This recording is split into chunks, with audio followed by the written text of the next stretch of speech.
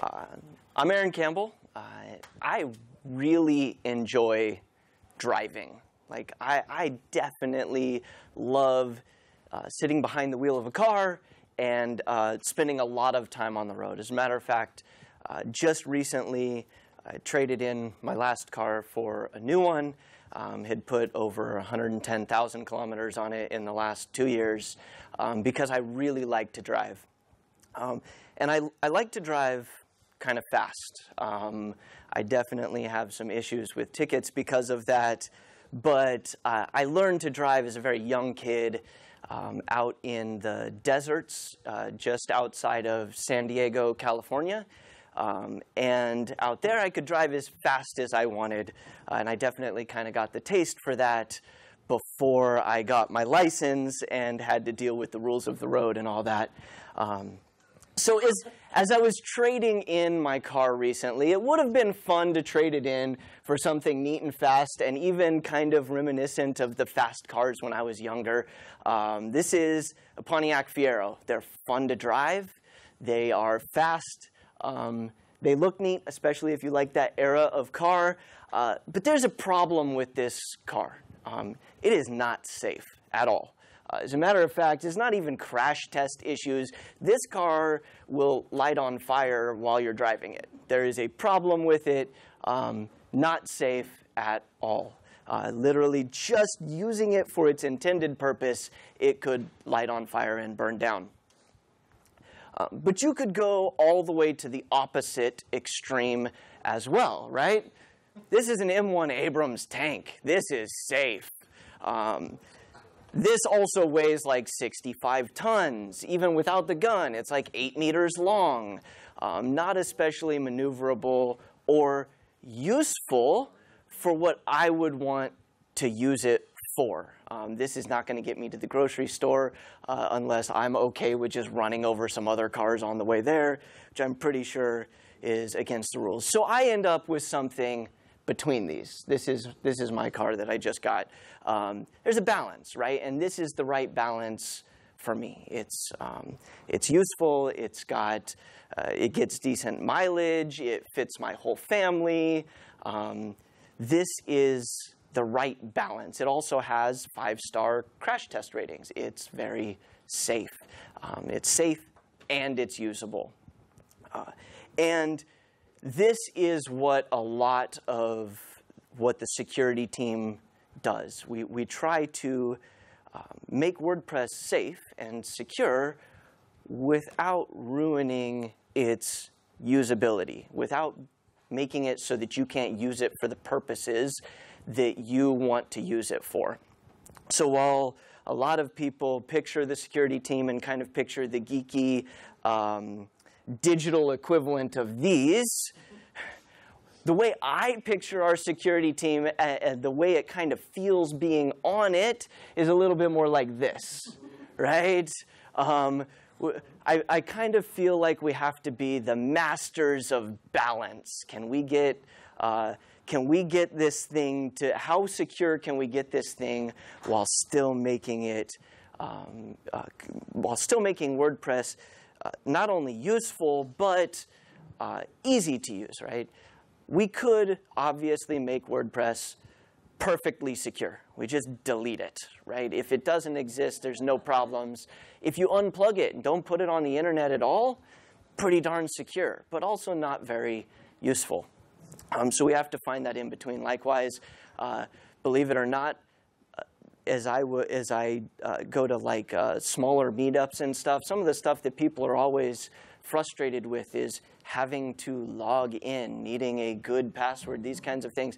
Well, sure, it'd be easier to use WordPress if you didn't need a username and password. It would also be ridiculously insecure. And there's this middle ground that our team is always trying to find that perfect middle ground. Um, so now on to our team and what it actually looks like. Um, first of all, we're distributed. We, we, have over 50 people, so we're decent size. Um, and we're distributed all around the world, uh, US, UK, Australia, Italy, Um, I, I, honestly, we, we have a lot of people all over the world, and I think that this is um, important not only for thing, basic things like response times, but also for um, diversity in views, uh, finding that perfect balance, that perfect middle point. You can't have um, everybody sort of viewing things exactly the same. Uh, we're also, we also represent many different companies, which is, again, I think important for that diversity. If, if everybody on our security team worked for one company, then we would only have sort of the outlook uh, of the things that affect that company. Instead, we have representatives of hosts, including Bluehost, DreamHost, and GoDaddy. We have people from security teams like Sucuri on there. Uh, Automattic has people on there. There are people that uh, run their own companies uh, that are unaffiliated with any other companies. And I think that that's healthy because what we're doing is trying to figure out that perfect middle ground, and we need those opinions. Um, and moving beyond the team to, to try to give you a little bit more understanding of, of how we work and what we do, um, a, a, quick peek at our tools. We now use HackerOne. This has been fantastic, but is also pretty recent. Um, who's used HackerOne for anything before? Yeah? It's a great tool. Before HackerOne, we had uh, basically a mailing list. You would report an issue to security at wordpress.org, and that would send an email to our whole team, and hopefully somebody would reply. Um, but you know, we all deal with hundreds and hundreds of emails a day. It's easy for stuff to get lost that way. With HackerOne, things don't get lost, which is pretty fantastic. It gives us the ability to communicate back and forth securely and easily with reporters. Uh, gives us the ability to see when something hasn't been responded to recently. Uh, it's even given us the tools to help reduce the noise. Uh, we do get a lot of uh, bogus, of invalid reports. Uh, this lets us filter through those faster than we used to be able to, which uh, saves us time, lets us spend our time actually fixing the real issues instead of constantly sorting through to find those real issues. Um, we also use some other tools that you will probably be familiar with. We use Trac. We have a private security Trac that only the security team has access to, but we use it just like the core Trac is used. We use it for uh, discussion around an issue, for uploading patches for other people on the team to test. Um, all the same things that you see on the core Trac. And we use Slack. We have actually quite a few Slack channels, believe it or not. Um, they're not public, so they're not visible, but we have a security Slack channel uh, that is kind of our core channel. We also have a security hosting channel um, that lets us have access to security people at various hosts, and that's another kind of permanent channel and we have a way of spinning up new security channels for any given issue. We have actually a, a slash command built into our WordPress Slack instance that lets us spin up a new channel in order to invite people in that are only needed for one specific issue. We can discuss that issue. We can close the channel when we're done. Um, and so we use Slack a lot for that kind of discussion. So the life of a bug or a security report or whatever you want to call it. Um, obviously, first they're reported. For us now, this is coming in through HackerOne. Again, that's been uh, much more effective for us as far as being able to filter through things and get to what we really need. Um, after this, after it's reported, it gets triaged most reports die right here. Most reports, this is the end, because we still get more invalid reports than valid ones. Um, so this is where we check to make sure it's really an issue. Um, sometimes this might involve some back and forth with the reporter. We say we need more information, or we couldn't reproduce it. You know, is there? Do we need a specific browser? Do we need a specific setup? Um, this kind of thing. Um, and sometimes it's just that we know that this isn't valid, and we can simply give them a canned response that says so uh, for things like people reporting that you can do cross-site scripting as an admin. You can put JavaScript in your post. Yes, you're an admin. You're supposed to be able to do that. Again, we have this balance, right, between uh, making WordPress useful and making it secure. And, and we could not allow admins to put HTML in their posts, but that wouldn't be very useful. Um, and so we, we basically have like a canned response that explains why, as an admin, you're allowed to do that. Um, so most tickets die right here, but not all. Some of them are triaged in as valid, and at that point, we make a Trac ticket on our private Trac, um, and we move to there. The, the Trac uh, just like core Trac tickets, that's where most of the discussion around how we're going to fix it works, how we're actually going to make the patch, which is kind of the next step. Um, so uh, some of that discussion happens in Slack, but we keep Trac as kind of the canonical place for all that information. So if discussion happens in Trac, we link to it just like we do um, in the core Trac. And once a patch is made to fix it, similar to most uh, of the developers at any company, we move on to sharing that, past, that patch around and testing it. But one of the neat things that HackerOne made really easy to do is also looping the reporter back in on this, passing the patch to them safely and securely, which is nice and easy with HackerOne, um, to let them test it as well. Uh, and this is great because if there was any miscommunication on what the actual issue was, or uh, maybe they saw more vectors that they thought were obvious, and so they listed the one but saw several, um, we may not have seen those same ones. Letting them test it and say, yes, this fixes every attack vector that I had seen as well um, is, has been really useful. The, at this point, a lot of times there's iteration on that to fix anything else. The, um, the reporter, the hacker, they can go about trying to find a way around our fix to make sure that our fix really is a complete fix. Um, because if there's anything that we don't want to do, it's push out a fix that turns out to only be a partial fix and everybody notices, hey, there was this security issue and it's only half fixed. So now we can uh, use that gap. Did I see a question over here? Yeah. yeah. At what point or what step uh, you say that it's a low, a middle, or a high risk uh, bug that it's going through to a patch? Because this is something what I um, see when like Google security teams say to Windows, you have a problem months ago, and then they're doing nothing, and then they report it uh, public. Now Windows said, hey, why? And oh, we discussed and what happened. So, and but then it's out, and it's uh, for them it's not a good reputation. So, how do you handle this here with the bugs? So the question is, how do we handle um, issues around conveying the severity of bugs? Are you talking about mostly back to the reporter so that things don't go public, so that they don't disclose it outside to other people?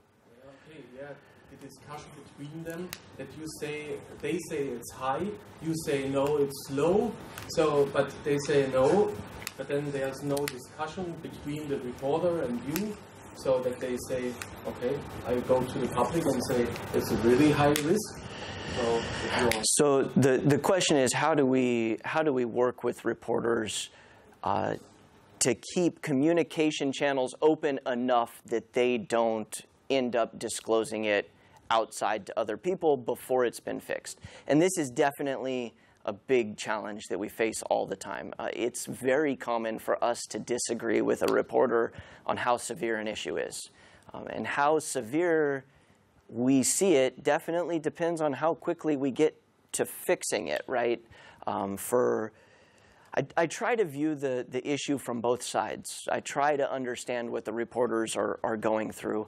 Um, but sometimes it's hard to get them to understand what, what we're going through as well, right? You get 100 reporters that each have, have found one issue and they all report it, and we now have 100 issues to deal with. We obviously have to prioritize these. Um, but for each of those people, their issue is their top priority.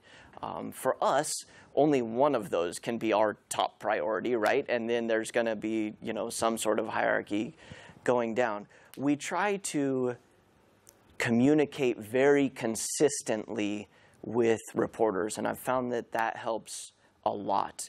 They're less likely to go and disclose it if you're good about going back to them and saying, we haven't forgotten about this, it's just further down the line and we haven't fixed it yet, but we haven't forgotten you.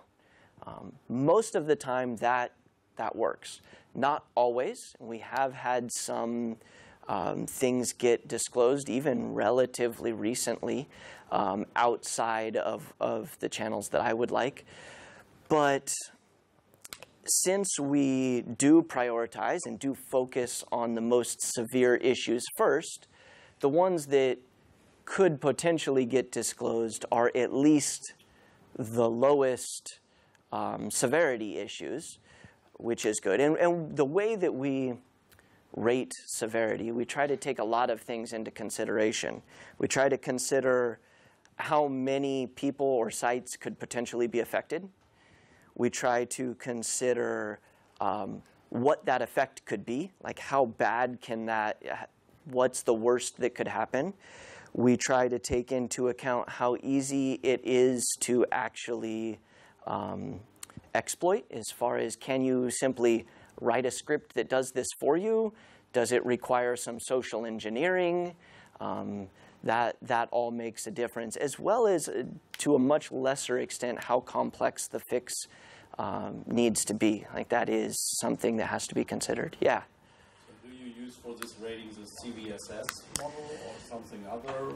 So we haven't. Uh, HackerOne uses CVSS, and um, so all the bugs that are coming in are rated that way. The reporter rates it first, and we adjust said rating almost every time because it's not very accurate when they do it.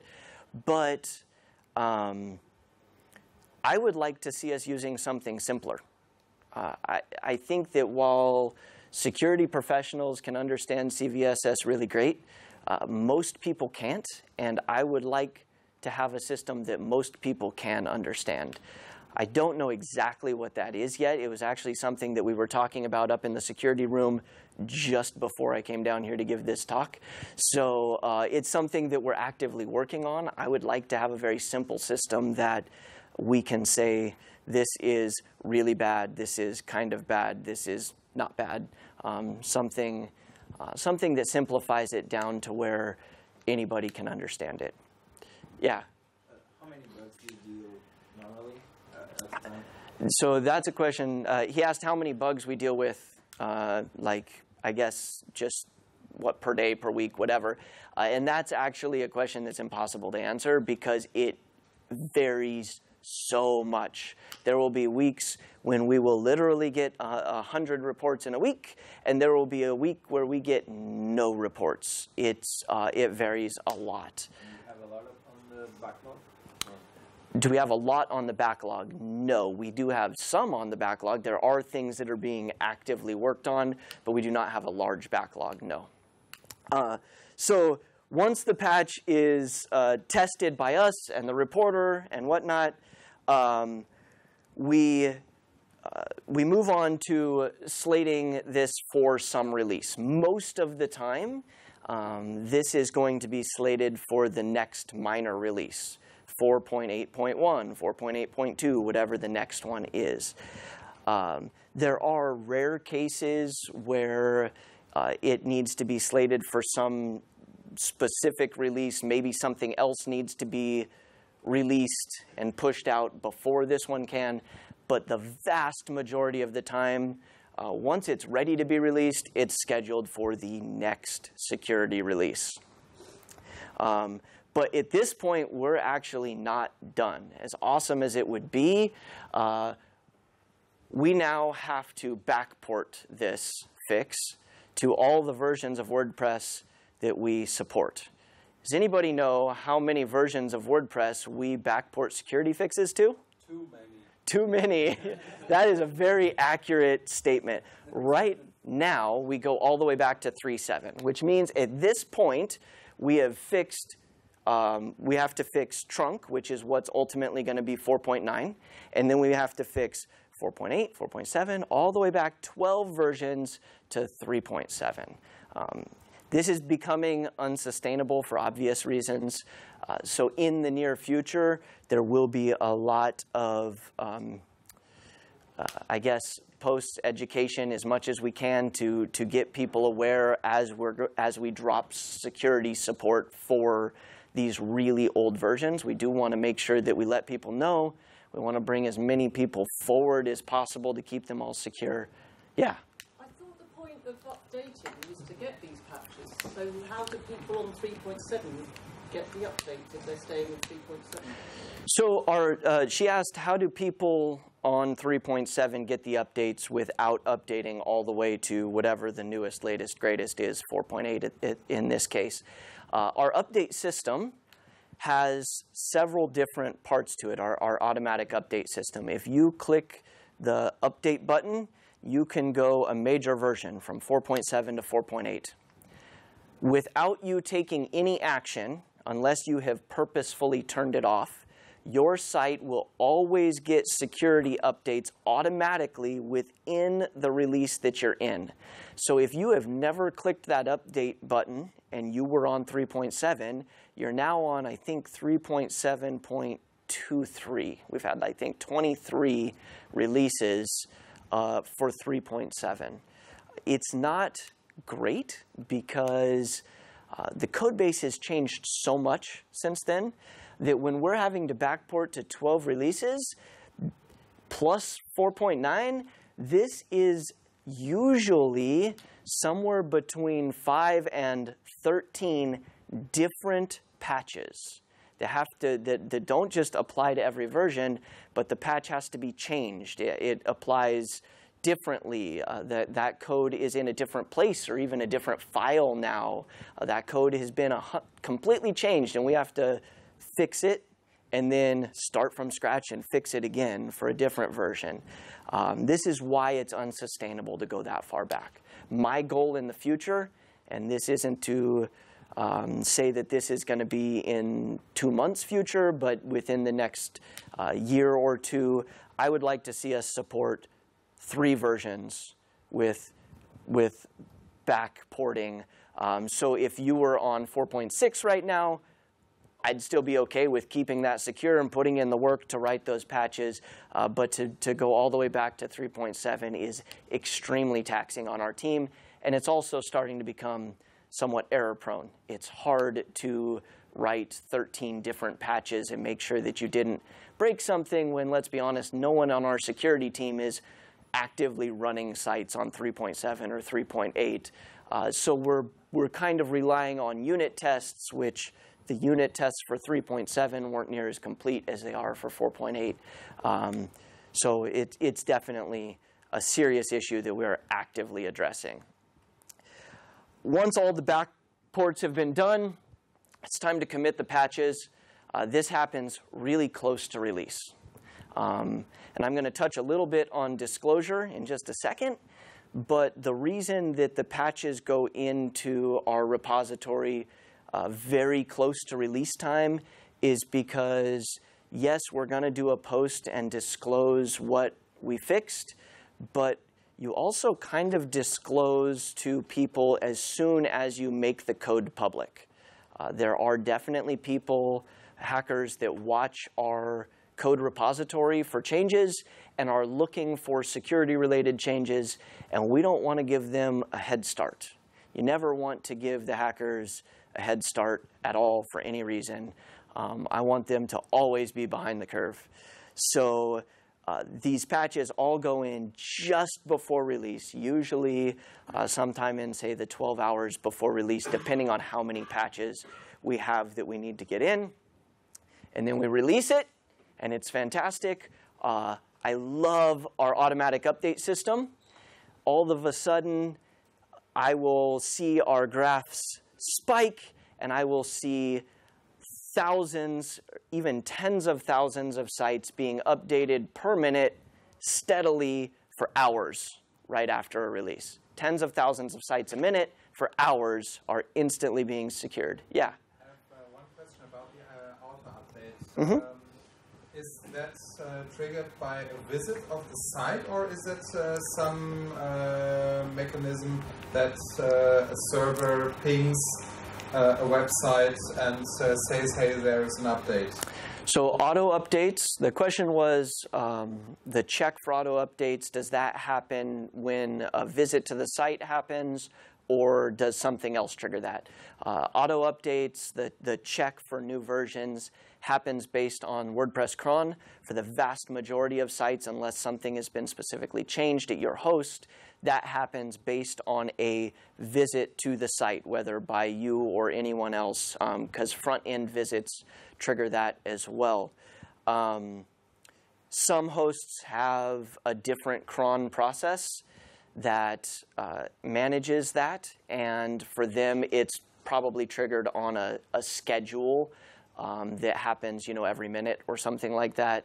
Uh, but yes, in the vast majority of cases, a visit to the site is required, which is why we do see that happening for hours because while there are many WordPress sites that are getting constant traffic, there are also many WordPress sites that get sporadic or very little traffic, may only get a visit a day or something like that.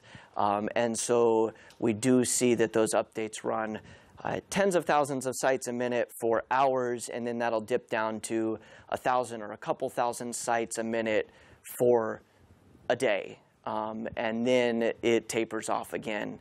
Um, and so you you know uh, it, it is a thing that can be delayed for some sites, uh, but one visit triggers it.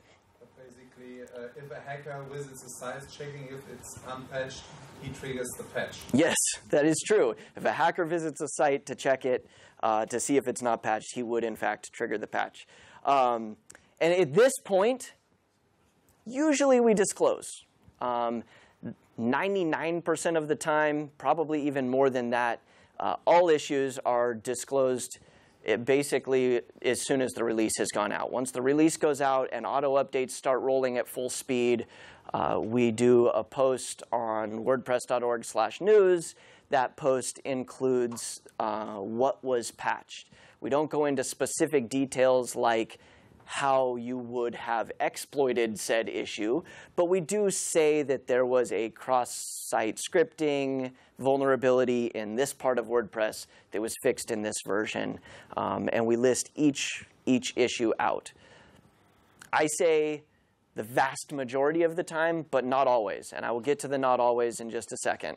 Yeah, that, that's the point. that I'm missing today is security bulletins for the security fixes. Security what? Security bulletins.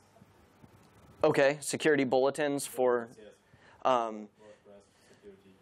Yeah, so we do we do an announcement post right after each security release, and that has the info that we share. Like that's um, that is our disclosure. Um, at this point, once an issue, you know, once we've released, the issue has been disclosed. Um, then we go back to HackerOne, we close the report, we pay the bounty, um, which is something that I guess I didn't touch on when I talked about HackerOne, which is that we pay bounties.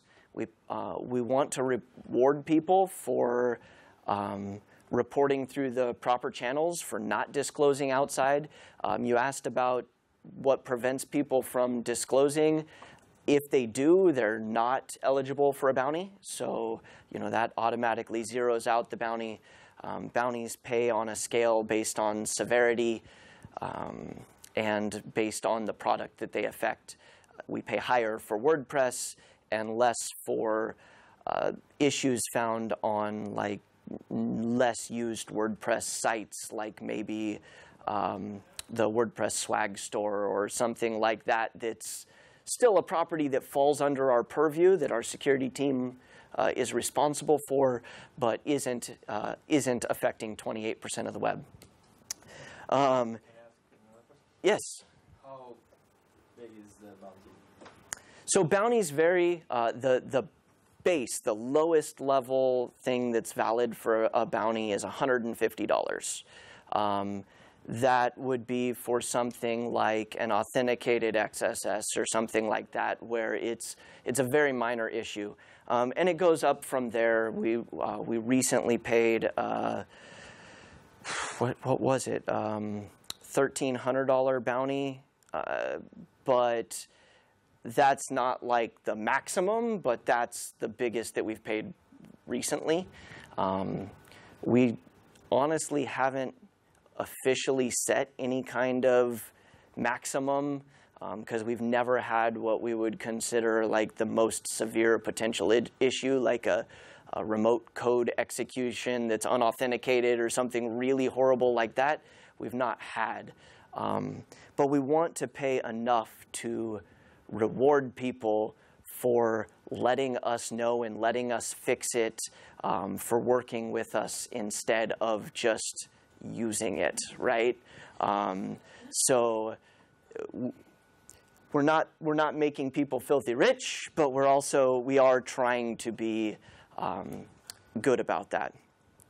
And then, if the report had not been disclosed for some specific issue, um, which I can talk about uh, 4.72 and how that went down, um, it, it is eventually disclosed. I do want to say that if it's not disclosed back here where I added the little question mark, we don't have security issues that, that we know about and fix that we don't disclose. They are always disclosed. It's just a question of did we delay that for some specific reason. And I think 4.72 the REST API issue is a fantastic example of that, which was um, the, the severity of the issue was relatively high, um, specifically because it was so easy to script. To, someone could write a, a bot to crawl the web and affect a lot of sites. Um, and so we didn't want, again, to give hackers a head start, or in this case, even an equal start with us. We wanted that head start. So we took about a week head start. Um, in order to do this as safely as we could, we interacted with hosts, um, quite a few hosts, all the biggest hosts, um, and then some. We worked with CDNs like Cloudflare. We worked with WAFs like um, Sucuri and in, Incapsula and all of those people uh, mitigated the vulnerability. So all the hosts that we could find and work with and these WAFs and the CDNs, they all mitigated the vulnerability for anything that was going through their systems. And then began monitoring their systems and sending us back information to let us know was anyone even attempting to exploit this on I guess at that point we must have had maybe 10 million sites or so that were probably being monitored. Um, and we didn't see any attempts to exploit it. Um, had there been an attempt, we would have gone ahead with disclosure as soon as we saw it um, because the reason for disclosure is to let people know this is important, you need to update right now. Um, but as long as I was still seeing thousands of sites a minute being um, updated and patched and made safe, and zero attempts to uh, exploit it, I wanted to let that keep going and let that uh, let as many people become secure as possible. So in that case, we delayed one week, and we had all decided ahead of time that if we saw anything happen, we'd disclose immediately. Otherwise, we'd give it one week for as many people to update as possible and then we would disclose. Um, there was never a consideration of not disclosing. Uh, one week was what we said is the maximum, um, and we did. We went one week. We, we protected millions and uh, tens of millions of sites um, between auto updates and working with hosts and working with WAFs. Um, and then we disclosed, and then we did see uh, quite a few attempts. Yeah. What, what was missing in the first in the releasing of 4.72 was the initial. There is a security fix in it. Please update, and it's it's high security. For- You this right, so four But point- from the, enterprise standpoint of view, you, you are not one of the big hosts to get informed in front of that, and you plan your updates. You have plat- patch and release processes on your own, and you haven't the info that there's security relevant update in this. And, and so the, the issue that he has, because I'm supposed to repeat everything for the camera, is that uh, what he feels like was missing from the force 4.7.2 release post was something that let him know how severe the issue was. Because there were, uh, 4.7.2 was only a security release, right? So there were other security issues that were fixed. So it was announced as a security release. The post that went out immediately following said that there were security issues, um, but they didn't list this one most severe one. Um, so some people may have prioritized that down the list. And it's part of the reason that we gave a full week before disclosing, hoping that even people that um, didn't know that there was this really bad vulnerability, they at least knew that there were vulnerabilities, so they would prioritize it within that week. Uh, that obviously wasn't everybody because there were some sites that got um, defaced by that uh, issue.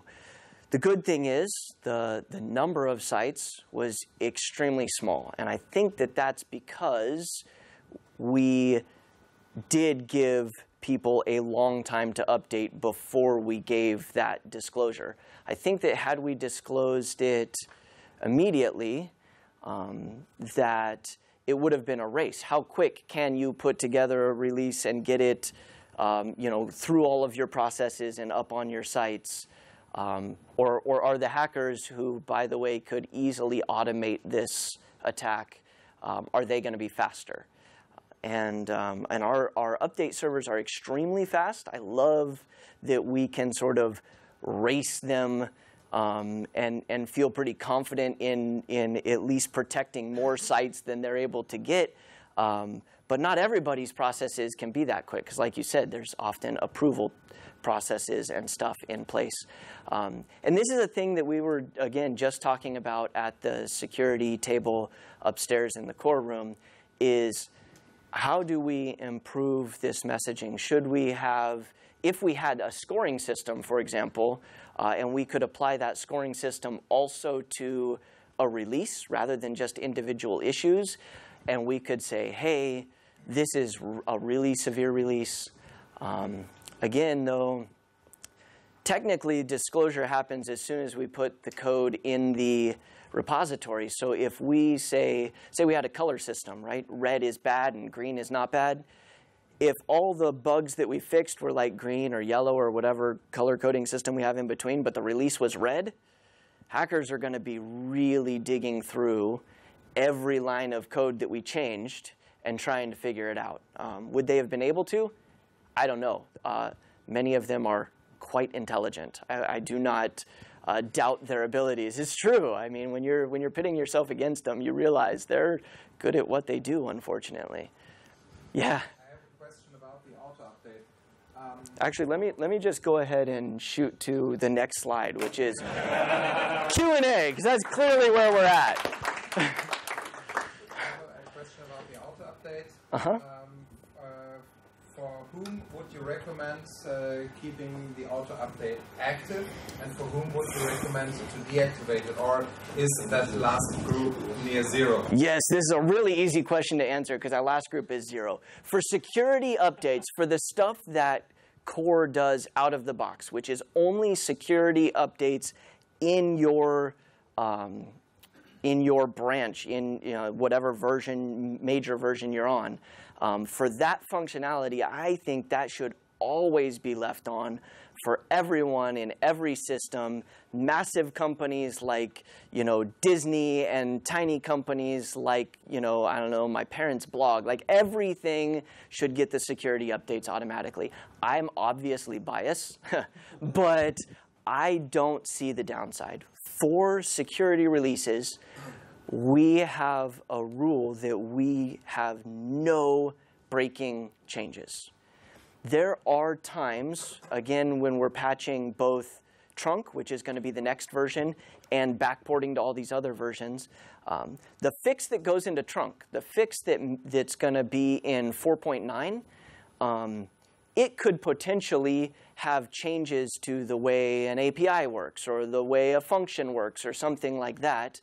Um, and when we do those, we scan the plugin directory. We, we talk to um, uh, big plugin companies and stuff. We try to make sure that we're not breaking anything, but we don't have a zero breakage policy for, for that. We try to be 100% backwards compatible, but yes, stuff happens. Having said that, for all the versions that have already been released, for a patch that goes in, into 4.8.1, 4.8.2, it can have no breaking changes. So it has to fix just the security issue without adding any new functionality or changing the way something works. Um, so those are extremely safe to do. Yeah, I saw this hand up. You said that uh, you were you were tracking uh, attempts to exploit sites.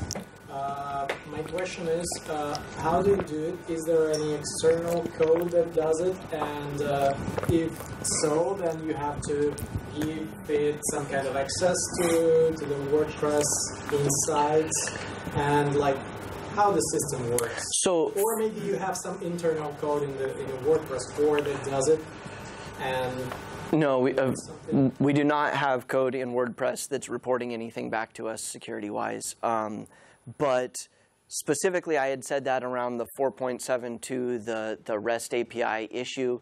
Um, that was something that could be detected at the network level rather than um, at the PHP or WordPress level. So we had hosts that were monitoring network traffic looking for packets that could be attempting to do this. Um, so those hosts, yes, we had to let them know what the issue was and how people would try to exploit it so that they could recognize those packets. We, that's what first spawned the security dash hosting room that uh, I mentioned in Slack earlier. Um, we got them together. We got their security people, so uh, trusted people that we could share this information with. Uh, and we had them monitoring that and reporting back to us, but all at the network level, not digging into people's WordPress installs, uh, just traffic that they're passing through and having to monitor. Um, similarly, WAFs and CDNs, as they're passing traffic through, they're able to look at the packets. The great thing was not only could they have reported to us if they saw packets like that, they can also kill them and get rid of them. So every uh, WordPress site on GoDaddy and Bluehost or any EIG property and DreamHost um, and all of these hosts, anyone that was under the Sucuri firewall, anyone that used Cloudflare CDN, none of those WordPress installs were at risk because all those packets were being killed um, before they ever got there. Yeah. Yep. So uh, the question was about plugins. So beyond just WordPress core, which is what we've mostly talked about because it's what I mostly focus on, um, what about plugins, especially the really widely used ones? Um, and that varies a little plugin to plugin. Some of the big widely used ones like uh, Yoast SEO, uh, they have their own HackerOne. They handle their own stuff uh, for the vast majority of issues. There has in the past been times when we have used the WordPress auto update system to push those plugins um, forcibly, just like we push security updates. It's pretty rare. Um, we have criteria that needs to be met, including um, simplicity of the patch so that we can be positive that we're not messing up people's installs. They have to follow the same procedures we, in, we follow of, of no breaking changes. They have to apply the patch to every version that people are using, just like we do, so that we're not upgrading your plugin, we're just fixing the security issue. Uh, it needs to affect enough people, so we really only do it for the widely used ones, um, just because like uh, I guess cost to effect ratio. Like it takes a lot of work, a lot of people a lot of time to do these pushes, um, but we can. And we want to extend that umbrella to do that more and more. As a matter of fact, I would like to see our core team of 50 people um, probably grow in order to do, to do this, but also spread out and sort of take, not take ownership of these bigger plugins, but help them with their security, to, to be a resource that they can use, possibly even to allow them to take uh, security reports through our HackerOne program if they don't have one set up. Uh, because almost everyone that runs WordPress runs it with plugins. So the security of WordPress, uh, in most people's minds, is really the security of WordPress plus whatever plugins they're running. Um, so yes, we want to focus more on the plugin ecosphere and see what we can do. We've done some in the past, but we can do a lot more. Last question. Uh, it's regarding uh, WordPress.org as a central place that distributes all those security updates to other sites and actually all other updates as well. Mm-hmm. But it's a single point of failure because if the WordPress.org uh, is compromised, then millions of sites are compromised as well because they can get this security issue or Yep. defaced. So how would we handle this situation and security of the Torque uh, and, on, and your servers? So, uh, um, A, yes, uh, WordPress.org is clearly kind of a central point. It's not totally a single point of failure um, because in order to be able to push stuff out to all these sites, uh, you actually need to get access to, to commit code into the version repository as well as get access to um, commit code into a separate repository that we use for triggering those updates to go out. Um, so there are uh, a, actually there are there are three different places that you would have to gain access to, but they are all part of WordPress.org, part of this kind of bigger central thing, but they are kind of subdivided out. Um, it is a thing that we're looking at um, as far as trying to figure out the best way to do, say, package signing or those kinds of things. But it's also, uh, I want to be very honest and clear, that's a very long-term plan. It's not, there's no quick change to those kinds of things uh, without the possibility of severe breakage, right? When we're, and when we're talking about 28% of the web, we have a responsibility to be uh, sort of real uh, sure in our course forward to, to make a plan and to make sure that it's all right before we execute on it. Um, but yes, we would like to see those three points sort of get distributed out even more so that there's um, not a small group of things that could potentially cause large failures. Uh, and I'm going to be up in the core room. We have a table at the end that's for security. I'm happy to answer any more questions up there. And I'm Aaron Campbell. And thank you to GoDaddy, by the way, who funds me to uh, be able to spend all this time on WordPress. And uh, that's it. That's all I got. Okay,